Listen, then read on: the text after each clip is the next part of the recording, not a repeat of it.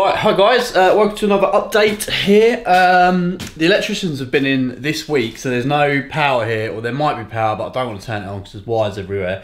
So it's a little bit dark, sorry about that. Um, but you can see here, uh, yeah, they've started chasing things in, adding all their plug points. Um, I don't know, I can't remember what you've seen, what you haven't seen. Sorry, so I'm going to show you everything. Stud work's gone up. Um, they're obviously putting the main lines in and you'll see this from the other side if that focuses. Don't know why I did that really. Uh, yeah, I'll show you that from around here. But this is going to be a bedroom.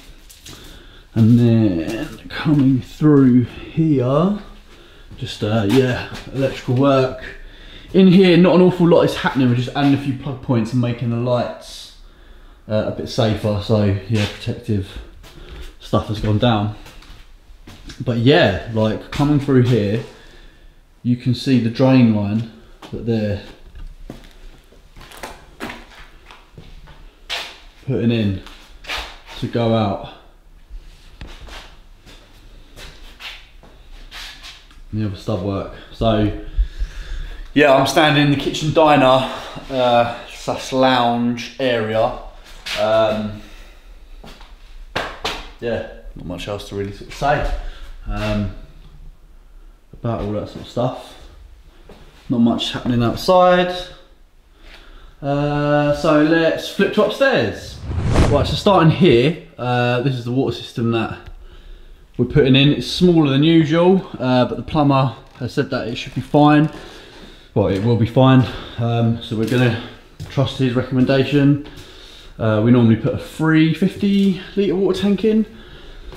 Uh, but yeah, so um, we're using, I think as we said, a new set of builders and stuff like that, seems to be working all right.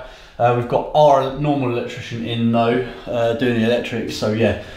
Only the electrician that we're used to is working on this project, everyone else is, is new, so yeah, learning how to work together on a first project. Um, it's always fun. But uh, yeah, progress is going really nicely, so let me swing you back round. You can see all the chasing in because there just wasn't enough plug points in here. It must be adding extractor fans and stuff in here because this is largely staying the same.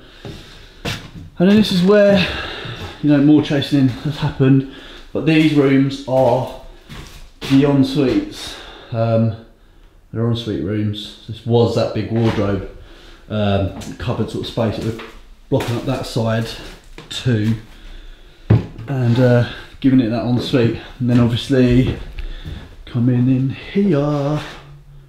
Yeah another ensuite um, nothing much really else to, to say. So yeah electrics and all that sort of stuff is going on. They seem to be absolutely tearing it. They've asked to get all the white goods and uh, toilets and stuff like that um, not white goods toilets and all that sort of stuff in uh, like this week coming.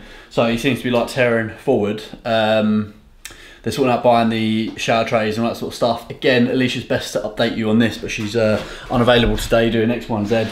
Uh, but she's working super hard to um, get things, you know, making sure things are running to time and all that sort of stuff whilst working with a new builder. And we're juggling five uh, property refurbs on the go at the moment as well, as well as running a letting agency and all that good stuff. So, um, yeah, it's busy but good. Um, busy but good. So yeah, hopefully you enjoyed that update. If you've got any comments or anything like that, uh, yeah, just leave a comment down below or questions. I mean, um, yeah, give us a like and all that good stuff. And we will see you next time.